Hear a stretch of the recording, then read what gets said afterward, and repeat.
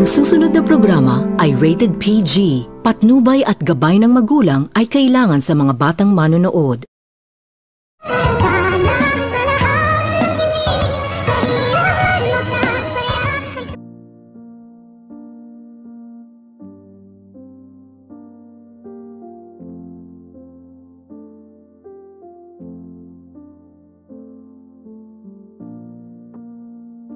Hindi nito sukat akalain ni Moira na makabalik na. Umano sa Pilipinas itong si Doktora Annalyn Santos sa kadahilanan nang makita nito ni Moira itong si Doktora Annalyn Santos. Ay agad naman nitong pinagsabihan ni Moira itong si Doktora Annalyn Santos kung ano umano ang ginagawa nito sa Ipix Medical Hospital. Ngayong hindi na umano itong si Giselle ang CEO ng Ipix Medical Hospital. At wala na din umano itong karapatan pa itong si Doktora Annalyn Santos na pupunta pa sa Ipix Medical Hospital. Dahil sa Eastridge Hospital umano ito nagtatrabaho at dito agad naman din itong sinabihan ni Doktora Annalyn Santos itong si Moira na nagawa lamang umano nito ni Moira na agawin umano nito ang posisyon ng kanyang tita Giselle dahil alam umano nito ni Doktora Annalyn Santos na niluluko umano nito ni Moira ang kanyang ama na itong si Dr. Tanyag at paninigurado umanong mayroon umano itong ginawang milagro itong si Moira at kasabwat umano itong si Moira sa kanyang anak na itong si Zoe na ilayo umano ang kanyang ama kay Doktora Annalyn Santos dahil mayroon pala umano itong binabalak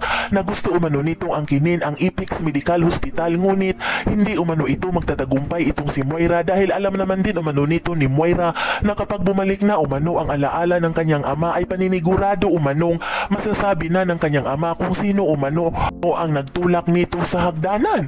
Sa kadahilanan na ikinagulat naman din nito ni Moira ang mga sinasabi ni Doktora Annalyn Santos sa kanya at agad naman nitong sinabihan ni Moira itong si Doktora Annalyn Santos na magdahan-dahan umano ito sa pananalita dahil alam naman umano nito ni Doktora Annalyn Santos na itong si Moira na umano ang CEO ng Apex Medical Hospital at itong si Doktora Annalyn Santos ay nakikipatong lamang umano ito sa Apex Medical Hospital at pwede umano nitong gawin ni Moira itong si Doktora Annalyn Santos hindi na umano ito papalabasin ni Moira sa Apex Medical Hospital at ikukulong umano ito ni Moira.